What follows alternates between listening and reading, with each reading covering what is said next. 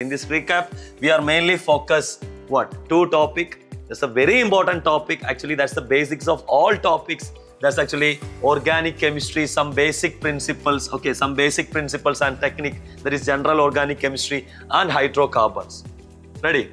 So in first chapter, first chapter GOC, general organic chemistry. Mainly we have to learn a IUPAC nomenclature.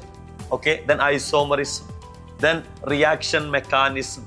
Each portions are important and that is whenever we are elaborating a lot of concepts are there. If you know the reaction mechanism then only you can apply that reaction mechanism ideas in the uh, grade 12 chapters like alcohol phenol ethers haloalkane haloarenes aldehyde ketone carboxylic acid amines even in where hydrocarbon.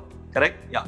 So the next uh, purification and characterization of organic compounds. That are the four important topics you have to focus mainly.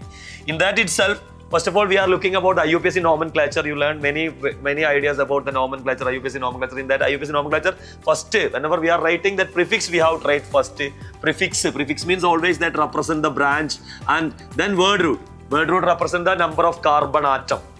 It is one method, two eth. That idea you know. Okay, I'm not going to uh, waste your time. Okay, see, whenever primary suffix, primary suffix means that represent saturation or unsaturation. Okay, saturation of carbon-carbon bond. If it is double bonded means alkene. If it is all are single bond means ANE.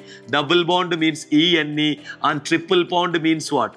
YNE. In structure, if the terminal groups are similar, similar, if it is similar, CH3, CH, double bond CH, single bond CH, double bond CH, single bond CH3.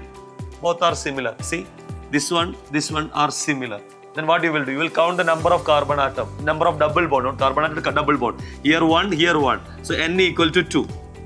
Number of double bond equal to 2. Number of double bond equal to 2 means that is what? That's a even number.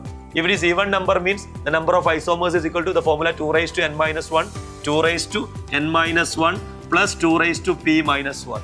n is double bond. So 2 raised to 2 minus 1 plus 2 raised to p minus 1. p is what? P equal to n by 2 when even number. So n by 2 means that is 1. So 1 minus 1.